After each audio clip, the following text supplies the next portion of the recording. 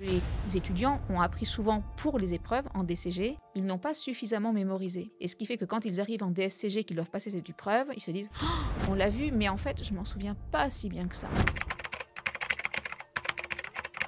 Si on pouvait déjà dire au DCG, investissez, capitalisez, travaillez la mémoire longue et profonde, parce que vous allez en avoir besoin dans votre avenir et un avenir proche quand vous serez en DSCG. Il n'y a pas besoin d'être une personne magique, il faut avoir une discipline de travail. En DSCG, on fait beaucoup apprendre, on ne donne pas les ressources documentaires, donc on fait beaucoup appel à l'apprentissage par cœur, et c'est vrai que l'apprentissage par cœur, c'est fatigant, c'est pas forcément stimulant. Et malheureusement, c'est la règle du jeu. Et comme c'est la règle du jeu, on n'a pas le choix. Si on veut jouer, si on veut être diplômé, il faut apprendre.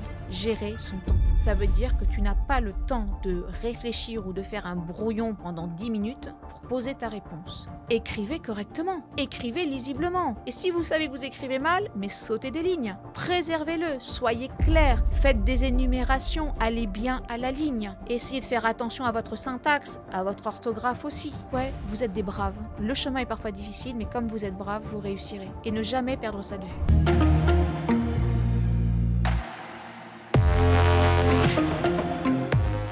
Salut et bienvenue dans un nouvel épisode du podcast Les Guides des Chiffres. J'espère que vous avez la pêche et la patate. Nous allons voir dans le cadre de ce podcast une masterclass sur comment réussir l'UE1 de DSCG, cette UE juridique qui peut faire peur à tant de personnes, mais qui en réalité est beaucoup plus accessible que ce que l'on peut imaginer. Aujourd'hui, j'accueille, je la présente plus, Céline Mansancal, qui est venue faire plusieurs épisodes sur le podcast Ligue des Chiffres. Céline, je suis très heureux de t'accueillir sur ce podcast. Merci Nicolas, je suis enchantée d'être avec toi. Alors, pour te présenter, je vais faire avec mes propres mots.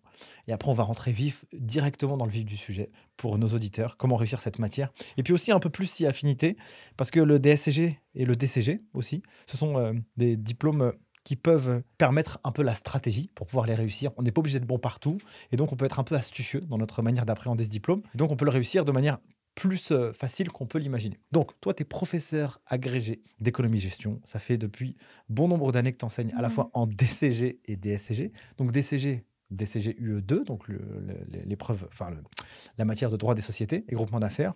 Euh, aussi la partie management.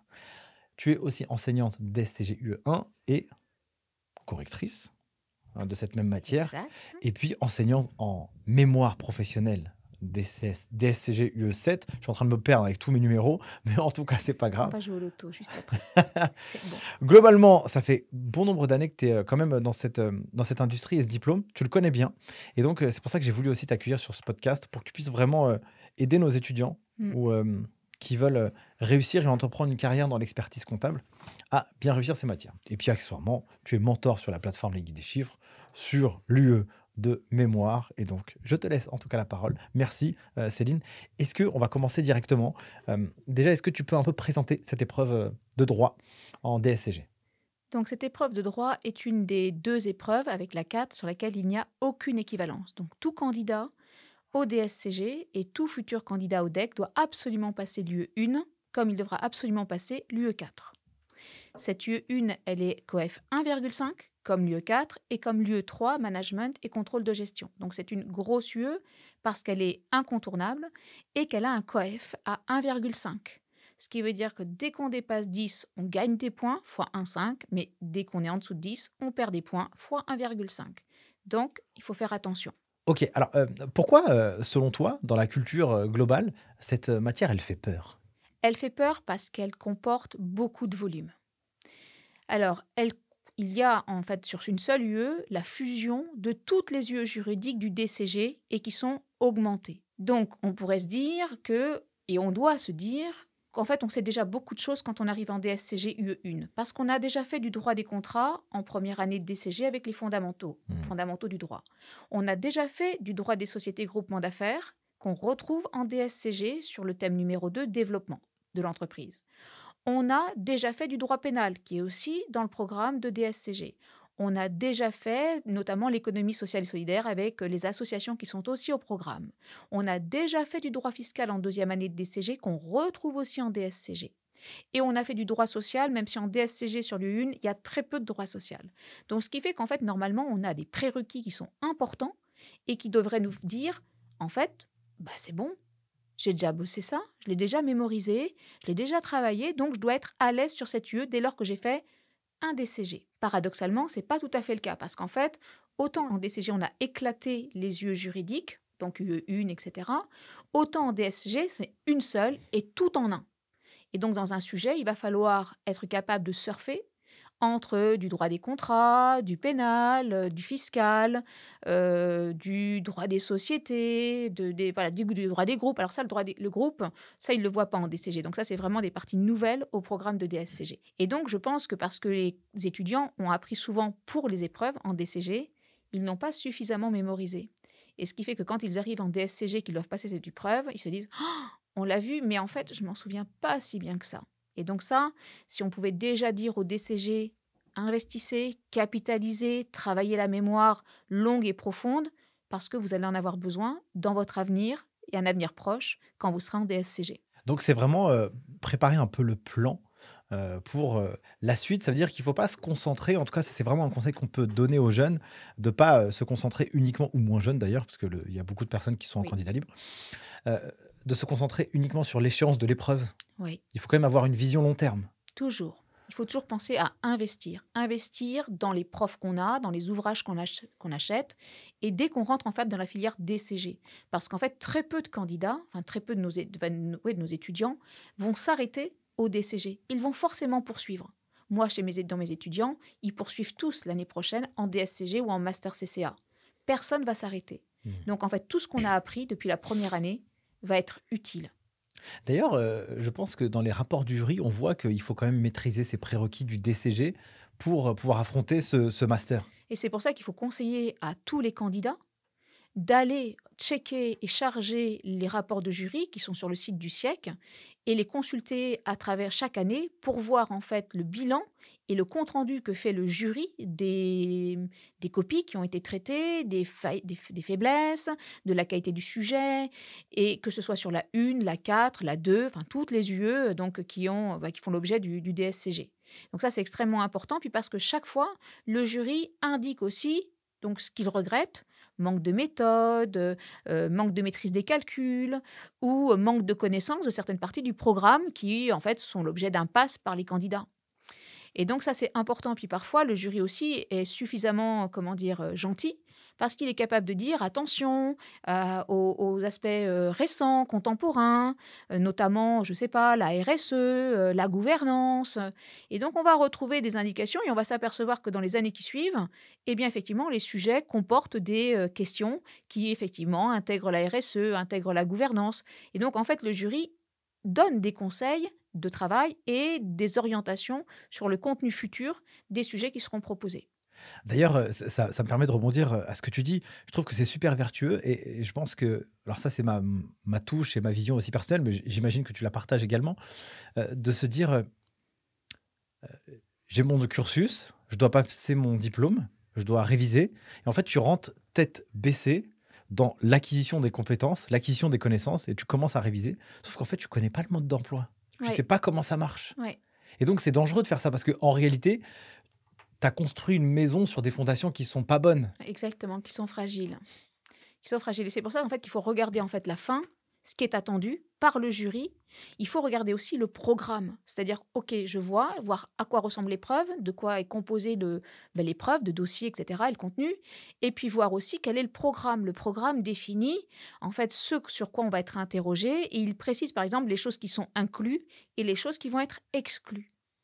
Et donc ça, c'est important aussi pour savoir jusqu'où on doit travailler, ce qu'on doit apprendre et ce, ce sur quoi il n'est pas forcément intéressant d'investir même si c'est parfois présent dans des ouvrages. Parfait. Alors là, ça, c'est une masterclass absolument à garder bien en tête. moi, j'aime bien utiliser ce mot euh, qu'on appelle l'activation. Donc, regarder un peu, préparer le plan. Donc, euh, tu regardes les rapports du jury, tu regardes un peu les annales, à quoi ça ressemble, c'est quoi le système de questionnement, etc. Parce que si tu te prépares à un niveau supérieur, et ben en fait, tu vas, aller, tu vas aller prendre du stress qui est inutile dans le cas de la révision. Et donc, mettre du stress, bah, du coup, euh, la rétention d'informations, elle est beaucoup plus fragile quand tu n'es pas bien que quand tu es en pleine capacité de tes, tes, mm. tes, tes, méthodes. Mais en même temps, c'est bien aussi de savoir ce sur quoi tu seras évalué, parce que si tu, t'évalues, si tu te prépares en dessous, bah, du coup, ça fait aussi euh, beaucoup de taux d'échec mm. qui pourraient être évités. Masterclass, comme j'aime bien le dire, Céline. Alors, euh, ok, on se dit que si on est en DCG, préparer le plan pour demain, c'est bien travailler ses yeux juridiques, Oui. déjà. Comme ça, ça donne une bonne base pour la suite. Et idem pour les yeux de compta. Que Hmm. ce soit la compta, la compta approfondie, la finance et le contrôle de gestion. Parce qu'elles vont être réinvesties, elles aussi, dans le DSCG. L'UE4, qui va donc agglomérer notamment, bah, va reprendre plus profondément la compta approfondie et aller aussi sur les questions qui ne sont pas vues en DCG, comme la consolidation, par exemple. Et puis sur la finance, où on va aussi bien sûr avoir besoin des acquis du DCG. Pas que, bien évidemment, mais c'est, comme tu disais, les fondations Hmm. les fondations donc du cerveau, le- la préparation, et qui va permettre plus facilement d'assimiler de comprendre les nouvelles connaissances et compétences apportées au niveau du DSCG. D'ailleurs, euh, j'ai souvent cette petite remarque qui, qui dit que euh, le DSCG, entre guillemets, est plus facile que le DCG. Est-ce que toi, tu partages un peu cette, cet avis-là? J'ai un élément de réponse par rapport à ce que tu viens de m'illustrer là. Je pense que oui, il est plus facile. Alors, il est plus facile parce qu'en fait, euh, normalement, il y, a les, il y a les bases. Il y a les bases, donc il y a déjà une partie du travail qui a été fait. Ouais, tu as musclé ton jeu en voilà, fait. exactement. Et en fait, le format de l'épreuve n'est pas différent. Par exemple, sur l'UE1, on est sur des dossiers, donc il y a plusieurs dossiers, mais les étudiants ont déjà eu en, DCG l'habitude des dossiers, donc trois dossiers, il peut y en avoir quatre ou cinq, mais à la rigueur, c'est pas important. Là, par contre, où c'est différent, c'est qu'effectivement, ils n'ont pas une thématique bien définie. Ils vont devoir aller parfois euh, passer du droit des contrats au droit des sociétés dans le même dossier. Ça, ils n'avaient pas vraiment l'habitude. Mais en fait, c'est qu'une question d'agilité, de souplesse, et ce n'est pas compliqué dès lors qu'ils se sont entraînés. Et donc, je pense qu'effectivement, normalement, c'est le gap entre le bac et le DCG est beaucoup moins important que le gap entre le- la, la fin du DCG, la licence, où on a pris de la maturité, puis l'entrée en DSCG, en fait, c'est un petit, c'est un petit jump qu'il faut faire. Ouais. Voilà. Ouais, euh, c'est vrai que tu, tu passes du bac au DCG, tu te prends une claque dans la figure. Énorme. tu te fais allumer énorme. direct. Mais en réalité, la logique du diplôme, tu peux considérer que c'est un peu cette continuité. C'est une quoi. continuité. Et je pense que vraiment, c'est vraiment comme ça que ça a été, je pense, construit, avec cette idée, cette idée de continuité. Je commence normalement doucement avec le DCG 1, et puis on monte en vraiment en puissance avec le DCG 2 qui va apporter énormément de techniques. Un DCG 3, je trouve, qui est davantage sur de la réflexion, de l'analyse. Et puis normalement, bah, du coup, on a un être, entre guillemets, un étudiant ou un candidat qui est à peu près bien construit parce qu'il a des fondamentaux, première année, il a de la technique, deuxième année, troisième année, il a pris de l'envergure, il est capable d'analyser. Vas-y, t'es bon pour le master et pour avoir, pour rentrer plus profondément et en mixant, en combinant et technique et analyse. Hmm. Et alors, par contre, c'est vrai que c'est là où c'est plus difficile, c'est qu'il va falloir combiner, savoir aller puiser la technique pour répondre à des questions qui sont peut-être plus orientées analytiques. Très clair. Euh, selon toi, euh, en quoi euh, ces yeux juridiques ont-elles du sens dans ces parcours de formation DCG, DSCG Euh, Quand même, en DCG, on parle de quatre matières, Mm, mm. donc c'est pas rien du tout. C'est énorme. En DSCG, c'est une matière sur les sept, mais en- elle est balèze, quoi, Elle elle, est est, balèze, costaud. Selon toi, pour quelles raisons mettons autant de droits dans ces cursus-là? Parce que l'expert comptable a une, comment dire, une dimension légale et qu'il doit être capable d'apporter à ses clients des conseils juridiques sur le choix d'une forme juridique, sur euh, les risques euh, juridiques lorsqu'il va euh, passer, enfin, je sais pas, un contrat de travail ou un contrat de, avec un, partenaire. Il doit être capable de conseiller pour ensuite, je pense, bien orienter ses clients vers les bons partenaires et du coup, là, après, vers des avocats, par exemple, euh, lorsque la, question juridique est, plus, plus pointue. Mais il doit, il, a il doit avoir cette culture juridique, même pour le droit fiscal. Il doit être en mesure d'apporter des conseils, un accompagnement, mettre en, comment dire, euh, euh, alerter son client lorsqu'il va commettre, lorsqu'il risque de commettre une irrégularité. Et donc, il a cette obligation, et donc il doit avoir cette culture juridique. Mais c'est pas tout à fait un juriste. Parce qu'en fait, on ne forme pas nos, étudiants à être des juristes. Les juristes, ils bossent avec les codes, dans les codes, alors que nous, en DCG, en DSCG, même si en classe, on peut le faire, à l'examen, ce n'est pas le cas. Très clair. Euh, ça, c'est pourquoi je te pose cette question euh, qui était euh, tout à fait orientée. En réalité, c'est que euh, on market souvent aussi, tu vois, ces diplômes de cursus, diplômes de comptabilité et gestion supérieur de comptabilité et gestion. Et du coup, on, a, on le market un peu trop euh, compta finance, quoi. Tu vois, et gestion financière même, en fait, on pourrait le dire. Mais en réalité, l'expert comptable, il va rentrer dans le dur et il va devoir travailler ce que tu es en train Oui. de, de- de- de préciser là. Et moi, je trouve qu'en fait, ils font du droit tout le temps, enfin presque tout le temps. Bien sûr, dans les yeux juridiques, mais quand ils font de la compta, bah, c'est un petit peu du droit aussi, il me Mhm. semble. hein, il y a du code. Et en fait, beaucoup de choses sont réglementées. Énormément. Et en fait, c'est vraiment un professionnel, pour moi, légal. Il est vraiment euh, dans la réglementation, il doit maîtriser le droit, il doit suivre l'évolution et des codes et de la jurisprudence pour conseiller ses clients. Je sais pas, par exemple, sur une société en formation, il faut désormais qu'il fasse attention. Pour conseiller, il y a un revirement de jurisprudence, il doit le savoir pour, euh, parce que ça peut avoir des conséquences pour ses clients qui pourraient avoir un projet de création et qui s'engageraient dans des actions, euh, donc dans des actes juridiques qui pourraient avoir des conséquences sur leur responsabilité. Très clair. Euh, super. Revenons un peu à cette euh, UE de DSCG, UE1. Donc, alors, j'ai bien compris que, voilà, tu, déjà, tu prends les fondamentaux, tu les maîtrises, euh, tu regardes aussi un peu c'est quoi la règle du jeu, ce sur quoi tu vas être interrogé. Euh, maintenant, comment on arrive à bien la réussir, cette matière? Euh, Est-ce qu'il faut être, euh, faut avoir un cerveau particulier? Est-ce qu'il faut Moi, je avoir une crois- espèce de recette magique? Ce serait quoi un peu pour toi la bonne méthode avec toutes ces années d'expérience que tu as Moi, eu je à pense enseigner? que celui, qui celui ou celle qui réussit, c'est la personne rigoureuse et régulière. Celle qui est capable de maintenir un niveau de travail régulier. Il n'y a pas besoin d'être euh, une personne magique. Il n'y a pas, c'est pas un diplôme pour des personnes exceptionnelles. Ou si, des personnes qui sont exceptionnellement normales. Normales et régulières. Donc, elles ont une, il faut avoir une discipline de travail. Mais c'est difficile, cette discipline de travail, parce que la majorité des candidats sont soit des personnes qui travaillent déjà et qui ont une vie professionnelle et parfois une vie familiale, et ce sont beaucoup d'alternants qui donc sont trois quarts du temps, je veux dire, ou deux tiers du temps en entreprise ou en cabinet, et un tiers à l'école. Donc, en un tiers de temps, avec la fatigue du travail, il est difficile d'avoir cette rigueur et cette régularité. Donc, parce qu'ils sont souvent, et je le vois bien avec mes étudiants, ils sont souvent fatigués. Surtout, par exemple, quand on a cours en fin de semaine. Voilà, je vois bien une différence entre ceux que j'ai en cours en début de semaine et ceux que j'ai en cours en fin de semaine. Ceux de la fin de semaine suivent moins bien les cours que ceux de la début, du début de la semaine, parce qu'ils sont fatigués. Et c'est ça qui rend difficile en soi. Il suffit d'être rigoureux, de faire des fiches, de réviser et d'avancer, de se faire un, rétro-planning. Sauf que l'alternance vient créer une complexité, euh, une pénibilité, je dirais, pour les candidats. Et alors pire, je pense, pour les salariés euh, qui, eux, ont sont investis d'une mission complète en milieu professionnel. C'est marrant ce que tu dis parce que, euh, tu vois, euh, euh, c'est des choses qu'on n'aborde pas tout à fait, tu sais, dans le cadre de l'école, de ces sujets un peu de, bah, il faut bien s'occuper de la machine aussi. Oui, Parce que si la machine ne marche pas bien, elle peut pas rouler, elle peut pas prendre la route. hein. exactement. Et donc, donc, il faut tu- être en bonne santé. Ouais, et donc tu dis que bah, les, les étudiants, tu les vois à la fin de la semaine, ils sont crevés, ils sont fatigués. Euh, à ton avis, alors j'ai bien compris qu'il y a quand même le rythme du travail et de l'école. Je faisais une conférence un jour dans une école et il y a quelqu'un qui me dit euh, J'ai une question à vous poser. euh, comment je fais pour garder la motivation? Alors, je, je t'expliquerai un peu euh, c'est quoi la réponse que je vais donner.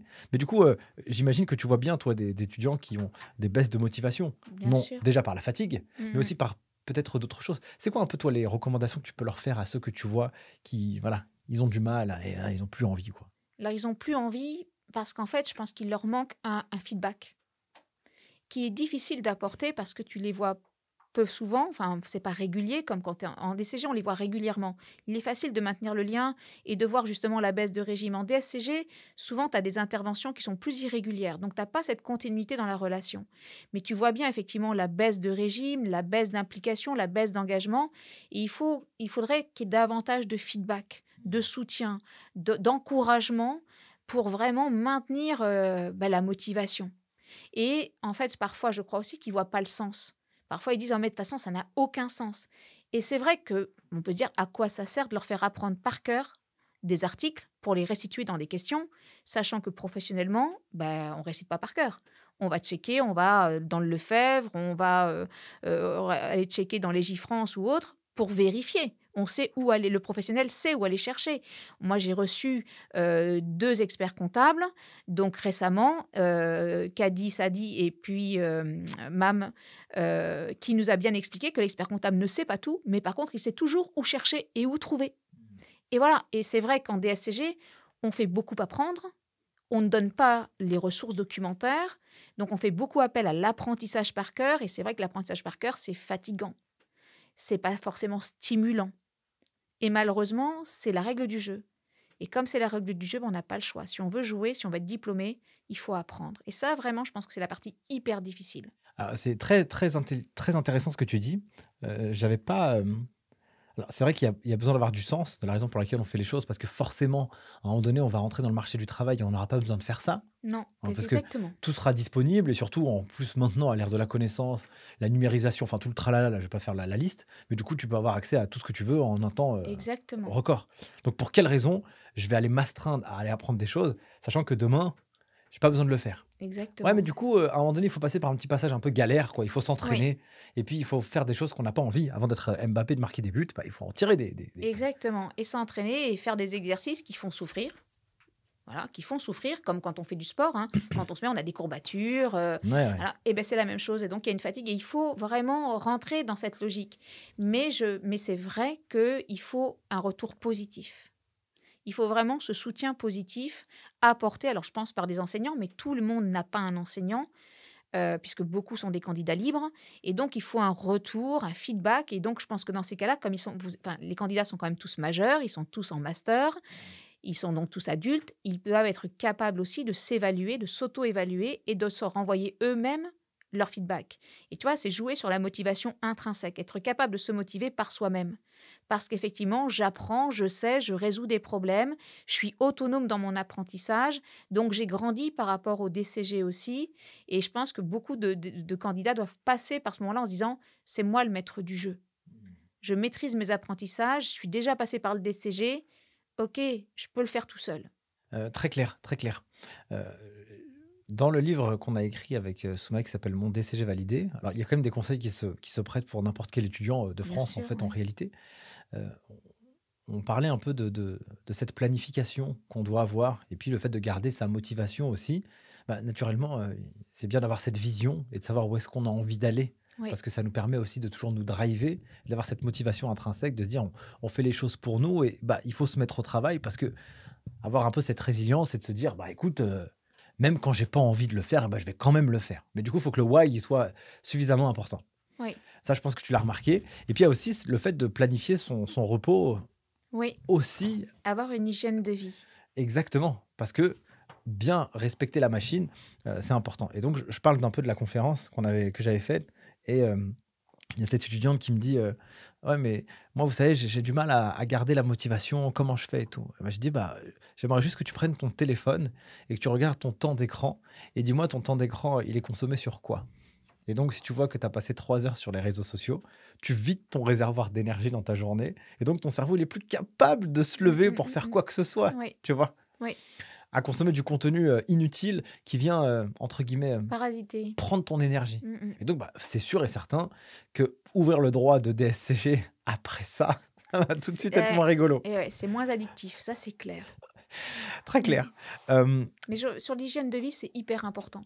Savoir se reposer et faire attention aussi, tu vois, même c'est bête, hein, là ça fait le côté maman, ouais. mais euh, bien manger. Tu vois, manger régulièrement, manger des choses saines, euh, avoir euh, suffisamment s'hydrater, tu vois, pour que ton corps et suffisamment se reposer, pour que ton corps et ton esprit fonctionnent correctement. Parce que souvent, quand tu n'es pas motivé, c'est aussi parce que tu es fatigué. Mais carrément. Et donc, voire même parfois, tu es tellement fatigué que tu, tu, tu broies du noir, tu n'es pas dans une bonne dynamique. Et c'est encore plus difficile. Et comme c'est difficile, tu te dis, non, mais je vais jamais y arriver. Et comme effectivement, tu n'y arrives pas, bah, du coup, c'est un cercle vicieux. Et ton cerveau se met à tourner dans le mauvais sens. Il perd de l'énergie et c'est totalement contre-productif. Ouais, bah alors là, franchement, ça, c'est vraiment abusé à quel point euh, euh, prendre soin de sa santé physique et mentale, ça, d'un point de vue euh, hormonal, tu sécrètes des hormones qui, naturellement, vont te booster ou alors vont te terminer. Et si en plus tu travailles bien derrière, rebooste d'hormones, et là, tu es dans une dynamique positive. Ouais, c'est Vraiment. clair. C'est clair, c'est clair. D'ailleurs, c'est pas pour une, c'est pas pour, euh, euh, c'est pas pour une mauvaise raison que les sportifs de haut niveau, ils sont astreints à faire des siestes. Ils doivent se reposer, avoir un Mm, niveau mm. de, de, de, de repos suffisant pour que leur corps et leur esprit puissent être euh, prêts pour la compétition. Mm, Pour ceux qui sont adeptes du MMA et des sports de combat, il y a un, un combattant qui s'appelle Cédric Doumbé, où euh, justement il a ces deux phases où euh, quand il est en phase de préparation, eh ben, tout doit être carré, la diète, euh, euh, le repas, les, les, les- les séances de sommeil, pour que le jour J, quand il arrive, boum, il explose son adversaire et c'est fini. Et puis quand il est plus en mode combat, bah, du coup il se laisse complètement aller. Mais du coup, Il en a, on en a besoin aussi de se laisser aller. c'est très Se important. relâcher, lâcher, euh, faire la fête, s'amuser, manger. Et après, une fois que c'est fait, ben, c'est repartir. Exactement. Mm. Donc ça, c'est, euh, je pense que ça, c'est un, un conseil qu'on ne donne pas forcément tout le temps, mais qui est très précieux à avoir, de bien s'occuper et prendre soin de soi pour Mm. que quand on arrive dans les révisions, tout soit plus facile. Tout soit plus facile. Et pensez aussi à gérer son stress. Mm. les exercices de gestion du stress, la respiration. Alors c'est vrai, euh, franchement, je pense que le meilleur truc, c'est le yoga pour ça. C'est vraiment, mais même les grands sportifs, hein, Teddy Riner explique que le yoga, ben, effectivement, ça l'a beaucoup aidé. Idem d'être accompagné, donc lui, par une psy, mais même chose, être capable de débriefer, de, se comprendre, de voir ses faiblesses, et puis être capable, voilà, de, respirer, de s'apaiser, et puis de se reposer aussi, et de remettre les choses à leur place. Euh, très clair. Très clair, Céline. Euh, merci pour ce partage. Alors, euh, bon, moi, je, parle, je parlerai de mon âge. Moi, j'ai 37 ans au moment où je tourne ça. Et j'aurais, quelqu'un m'aurait dit ça quand j'avais 20 ans. J'ai dit, vas-y, arrête ta musique là. Tu vois, Ah c'est ouais, chiant. arrête tu de vois. faire ta vieille. Ouais. non, tu vois, c'est- relou et tout. Mais en fait, tu te rends compte que au final, purée, c'est vertueux, quoi. Oui, complètement. Ok. Maintenant qu'on a euh, tous ces éléments, on sait qu'on doit travailler la régularité. Plus tu fais un peu tout le temps, plus tu gagnes du temps. Et donc, euh, au moins, tu ne seras pas stressé à, à 15 jours des examens ou qu'est-ce que j'ai- c'est impossible, en fait. Donc, un peu gravir chaque marche au fur et à mesure de l'année. Euh, comment on doit appréhender un peu l'épreuve aussi le jour J? C'est quoi la bonne manière de faire? Est-ce qu'on doit. euh, La bonne manière de faire, c'est ta montre. C'est ta montre. Tu as 4 heures. Tu as 4 heures moins 30 minutes de sujet que tu devras lire dans un sens ou dans un autre avec une base documentaire, jurisprudence, euh, extrait euh, d'articles du code. Donc tu as 3h30. 3h30 pour répondre à plus de 15 questions. En gros, tu as 10 minutes, 12 minutes par question. Gérer son temps. Et ça veut dire que tu n'as pas le temps de réfléchir ou de faire un brouillon pendant 10 minutes pour poser ta réponse. D'où le travail préparatoire, d'apprentissage, d'entraînement sur des annales, sur des exercices, des pochettes, etc.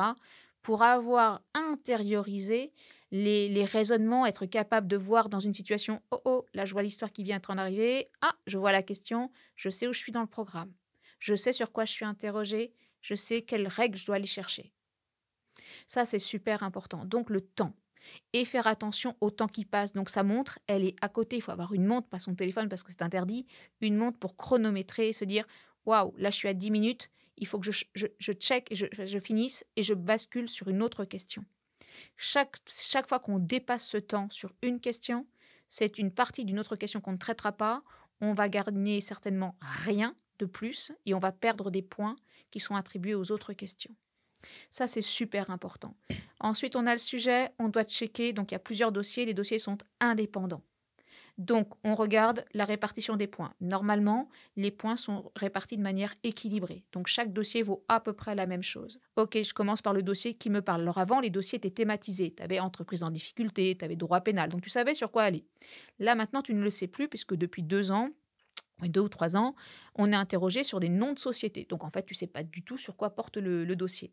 Donc il faut rentrer dans le dossier. Tu checkes les questions, tu vois de quoi il est question. Et donc chaque question, il faut se poser la question de quoi ça parle, qu'est-ce qu'on me demande? C'est important. Juste les marquer rapidement en marge sur, le sujet, hop, de quoi on parle. Et une fois que c'est fait, pour s'assurer de ne pas faire de hors-sujet, pour s'assurer qu'on ne va pas développer trop une réponse et empiéter sur la suivante, on check. Et une fois qu'on a bien checké, allez, c'est parti, on reprend les questions et on y répond.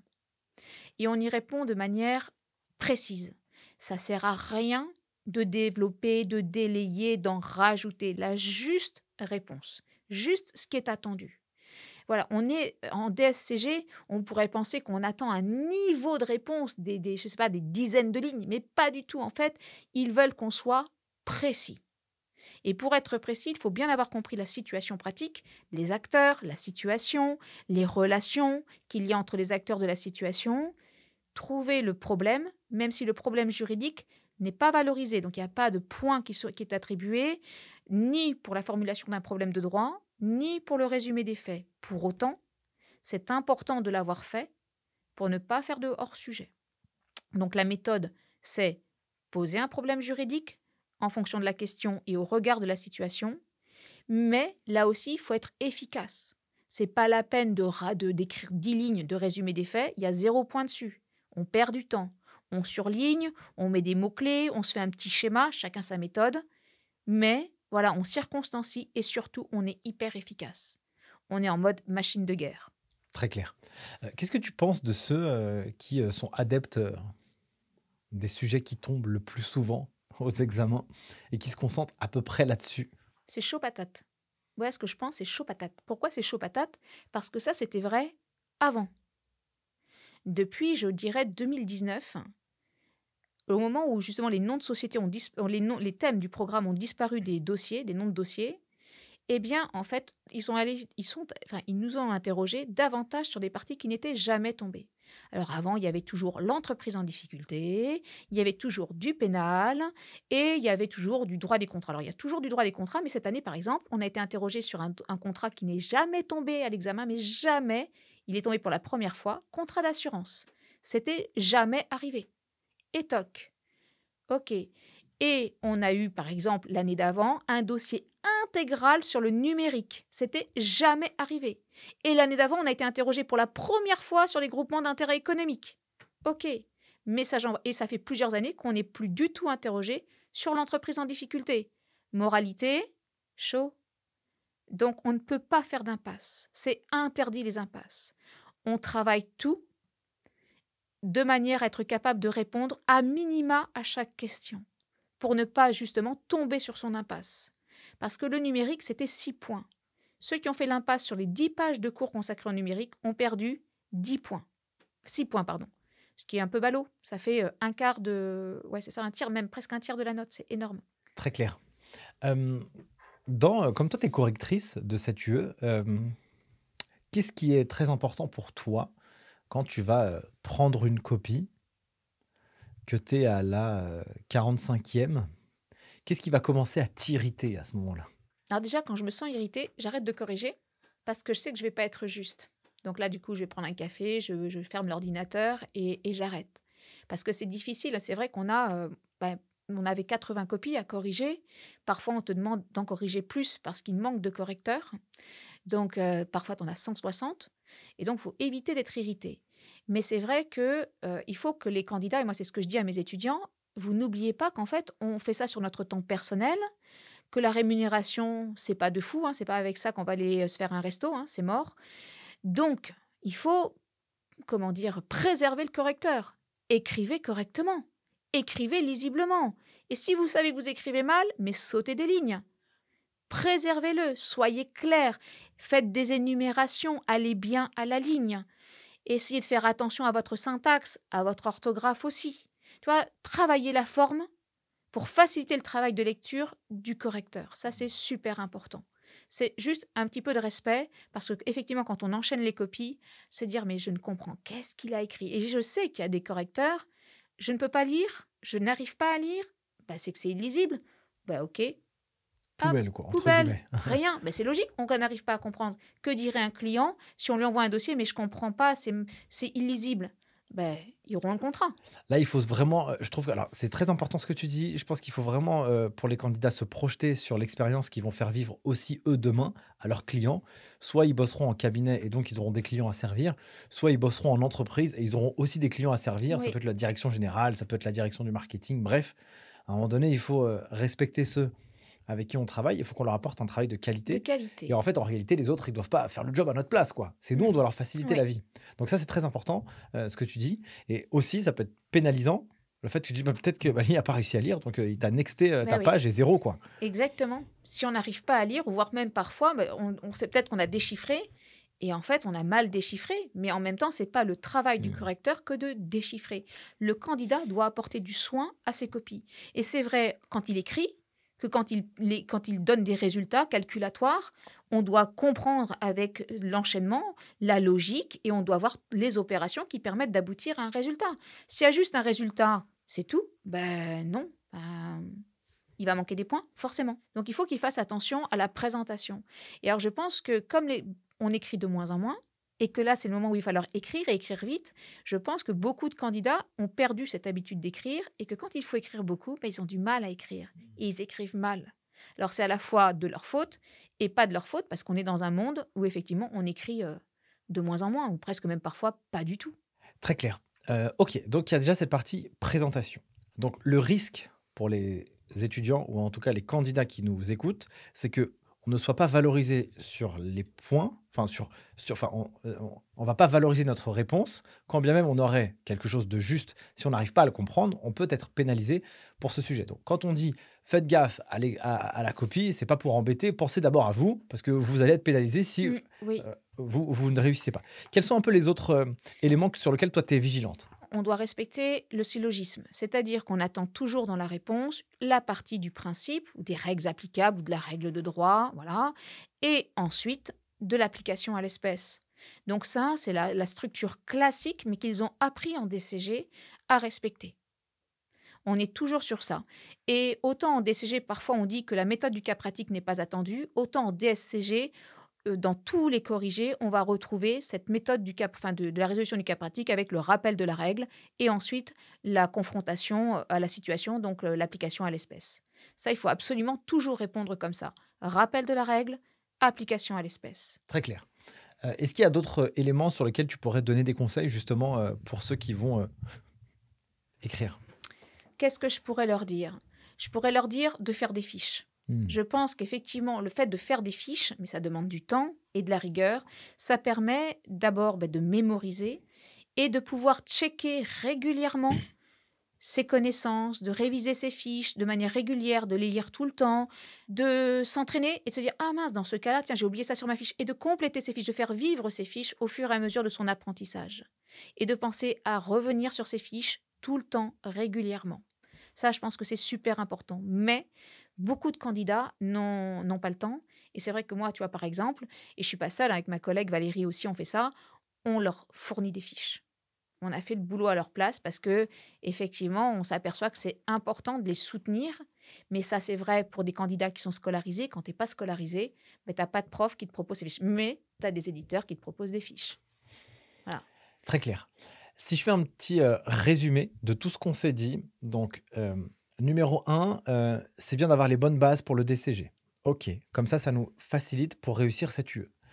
Attention, c'est une UE avec un coefficient différent, donc si on y arrive, on est bonifié, entre guillemets, et si on n'y arrive pas, on est pénalisé. Deuxième élément, il faut euh, vraiment garder cette structure où on est régulier, on travaille un peu mais tout le temps, parce que c'est avec cette répétition et cette rigueur, résilience, qu'on va pouvoir y arriver. Autre élément, il faut prendre soin de soi. Ça, c'est Mm. ce que tu dis. Donc, prendre soin de soi, ça va nous aider à garder la motivation, mais aussi à pouvoir créer une boucle vertueuse de la réussite. Ouais. Génial. Ensuite, sur la partie euh, euh, copie et jour de l'examen, on est vigilant sur le timing, on perd pas de temps, on ramène pas notre science. La science, ça sert à rien.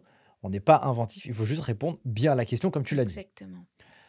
Bien veiller à respecter le correcteur dans l'expérience qu'on va lui apporter, une copie claire, lisible euh, et juste, et respecter ce fameux syllogisme qui va nous aider justement à respecter ce que le rapport du jury nous donne. Et puis ce que j'ai aussi oublié de mentionner, c'est qu'on connaît aussi la règle du jeu pour valider cette matière. Mm, mm. Très clair, Céline. On va clôturer cet épisode avec euh, deux, trois euh, tips différentes, parce que quand même, euh, cette UE, elle peut quand même, malgré tout ce qu'on se dit, peut-être faire peur. Ou alors il y a des gens qui, pour eux, le droit, bah, un ils sont un peu allergiques. Mhm. Euh, le DSCG, c'est quand même un, un diplôme où on peut être un peu inventif, un peu stratège. Stratège. Exactement. Stratège. Qu'est-ce qu'on pourrait faire justement pour euh, un peu pallier notre euh, défaillance qu'on pourrait avoir cette UE de droit? Et aussi, je parle de la compta ou de la finance, qui sont des- quand même, la finance, c'est difficile. Euh, Qu'est-ce qu'on peut mettre en place comme stratégie justement pour ceux qui sont en DSCG et puis pour ceux qui ont peut-être des dispenses sur les autres UE Est-ce qu'ils auraient intérêt de le mettre à la poubelle et quand même passer l'épreuve? Alors, ouais, je pense qu'il y a trois UE qu'on voit très nettement dans le rapport de jury qui ressortent par leur taux de réussite. MSI, UE5, anglais, UE6 et mémoire, UE7. C'est des UE qui sont ultra rentables. Alors, la plus rentable, je pense, c'est l'anglais. Et tous ceux qui ont une dispense en anglais, mauvaise pioche de la jouer. Ne l'utilisez pas pour l'instant. Passez l'épreuve d'anglais, donc l'UE6 de DSCG, et maximisez votre note. Si jamais ça ne marche pas, vous ferez jouer votre dispense au tour suivant. Mais c'est une UE extrêmement accessible. Le niveau est un niveau bac qui est attendu, les thèmes sont annoncés, on se prépare comme d'habitude et normalement on valide et on valide bien. Le taux est élevé, en attestent les rapports de jury. Ensuite, on a l'UE5, MSI. Même chose, on peut avoir une dispense. Même chose, même conseil, on ne la joue pas pour autant. On la passe. Normalement, elle est aussi accessible, en atteste le taux de réussite. On n'a peut-être pas fait beaucoup de MSI, on achète un bouquin, on regarde les annales, on s'entraîne et on passe. Même chose, ça marche, ça fait des points d'avance. Ça ne marche pas, on fait jouer ensuite sa dispense. Et l'UE7. Pour tous ceux qui ont été qui ont un master, normalement, ils ont tous fait un mémoire de recherche. Par exemple, les masters CCA. Ce travail a déjà été accompli. Plus ou moins, mais il a été accompli. Donc, transposez votre mémoire de master en DSCG, apportez-le. Et apportez-y peut-être des modifications, mais passez cette UE avec votre mémoire.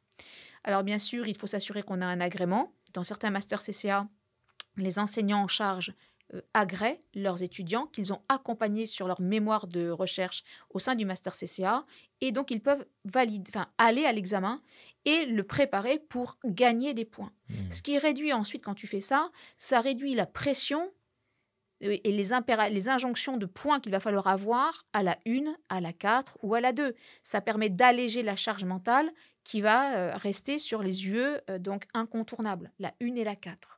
Donc vraiment, ces trois yeux, moi j'invite tous les candidats à les investir à fond, vraiment à fond. Elles sont vraiment extrêmement rentables et elles valent vraiment le coup.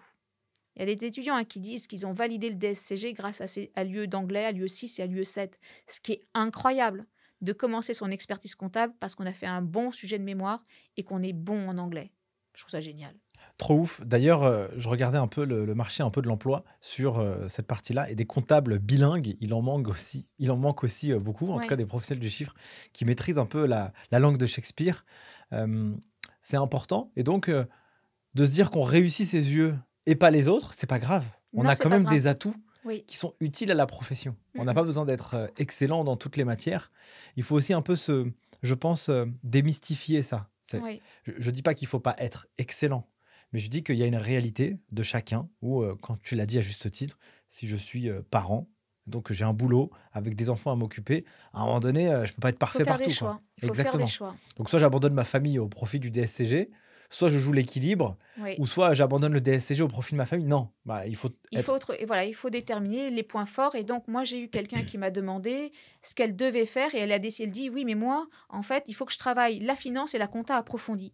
Pour donc ça c'était en DCG pour valider. J'étais impérativement aller travailler à fond. Comment je peux les réussir? Et je lui dis mais pourquoi? Parce que ça me sert dans mon boulot. Ok, mais qu'est-ce que vous voulez? Vous voulez votre DCG Est-ce que ce sont vraiment les yeux qui vont vous permettre de valider votre DCG. Hmm. Pas forcément. C'est pas forcément le bon deal. Et en fait, je comprends ce qu'elle faisait. Elle fait, elle, dit, mais moi, je vais faire de la compta, donc il faut que je, je vais passer le lieu de compta approfondi. Oui, mais c'est peut-être pas l'UE qui est la plus rentable à passer. Peut-être que vous avez plus de chances de valider avec une autre UE. Voilà. Donc du coup, effectivement, question de stratégie. Carrément. Merci en tout cas, euh, Céline, pour euh, pour euh, cet épisode. On arrive déjà à la fin. Euh, est-ce que tu aurais, pas, un espèce de petit message d'encouragement à apporter à tous ces étudiants de la filière expertise comptable, DCG, DSCG, ou un retour du terrain, une petite sagesse qu'on pourrait récolter de ta part et de ton expérience? Moi, je dirais que ils ont tous, ces, tous les étudiants de DCG, DSCG ont fait le choix d'un parcours que j'appelle un parcours de noblesse. Je trouve qu'ils ont fait le choix d'un parcours difficile Difficile parce qu'il y a beaucoup d'attendus, il y a un niveau d'exigence qui est euh, bah, le, résultat de ce qu'est l'expertise comptable. On ne peut pas être expert comptable et être négligent, c'est pas possible. Et donc, du coup, c'est un espèce de chemin de bravoure. Et donc, ouais, vous êtes des braves. Et donc, le chemin est parfois difficile, mais comme vous êtes braves, vous réussirez. Et ne jamais perdre ça de vue. Merci Céline, en tout cas. Avec plaisir. Donc, en tout cas, si tout le monde veut te retrouver, eh bien, euh, je mettrai ton profil LinkedIn en description de cet euh, échange. Cette vidéo et ce podcast aussi est disponible en audio et en vidéo partout. Si vous l'avez kiffé, mes chers amis, eh bien likez, euh, partagez autour, euh, autour de vous. Puis si vous voulez préparer le DCG, DSCG, direction la plateforme en ligne, les geeks des chiffres, naturellement. Sur ce, je vous souhaite le meilleur et je vous dis à très vite pour un prochain épisode. Ciao Ciao Merci d'avoir suivi cet épisode jusqu'à maintenant. Si vous êtes arrivé ici, n'hésitez pas à mettre un gros 5 étoiles pour soutenir le taf. Et si vous souhaitez aller encore plus loin avec les geeks des chiffres, deux manières de le faire. La plateforme en ligne où vous pouvez préparer le DCG et le DSCG à distance ou si vous êtes étudiant en DCG ou aspirant à le devenir, vous avez un guide qui a été écrit aux éditions Duno qui vous montre la marche la plus rapide pour valider votre diplôme et avoir un mindset, un état d'esprit d'apprentissage extrêmement vertueux. Et si vous êtes un cabinet, eh bien n'hésitez pas à l'offrir à vos collaborateurs juniors pour les aider à valider leur diplôme et les encourager dans cette démarche. Sur ce, merci à vous et à la semaine prochaine.